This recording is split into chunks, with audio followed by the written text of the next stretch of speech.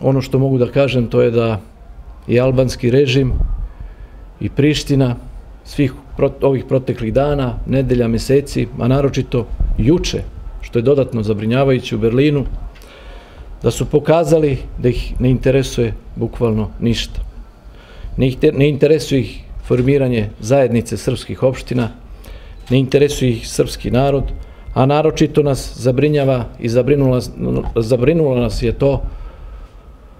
što je na predlog policijskog inspektorata u Prištini suspendovan direktor regiona policije Sever, gospodin, gospodin Nenad Đurić. I mogu slobodno da kažem da je to kap koja je prelila čašu i da je ovo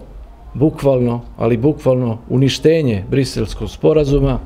i mogu slobodno da kažem vodi ka uništenju srpskog naroda. Teror koji Priština sprovodi proteklih, rekao sam, dana, nedelja i meseci, više ne da nećemo, nego više ne možemo da trpimo. I to smo jasno izneli i na sastanku sa predsjednikom Vučićem i sa vrhom vlade.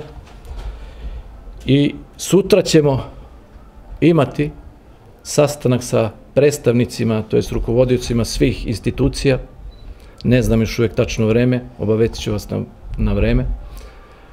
kada će biti konferencija za štampu i sutra ćemo doneti konačnu odluku, dakle, te mere, ali te mere ćemo doneti uz konsultacije sa predstavnicima svih institucija, koji, od svih ljudi koji vode ove institucije, naročito na severu. Dakle, ovog trenutka što mogu, što vam još mogu reći, to je da ćemo preko sutra u 12 časova imati prvi protest i budite ubeđeni da